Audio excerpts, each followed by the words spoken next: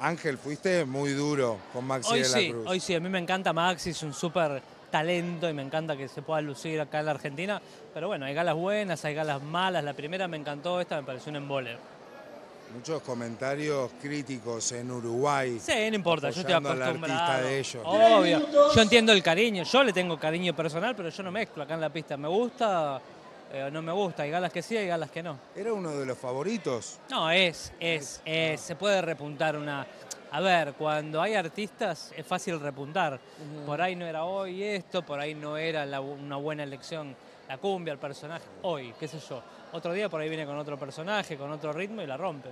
¿Lo ves como de uno de los artistas que más Aparte yo te sorprendió? paso del 10 al 4, al 3, al 2, no tengo ningún tipo de problema. Pero- por ahí el problema soy yo. Sí, ¿Lo ves a Maxi como A uno mí me parece una... de las una- sorpresas sí, sí, sin de duda. este bailando? Una revelación del bailando, una buena incorporación. Está bueno tener artistas de verdad, no autoproclamar, no entra y dice soy un artista, soy talentoso, no necesita contar lo que ya todo el mundo sabe que es.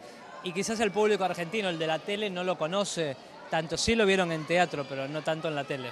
Gracias, Ángel. A ustedes.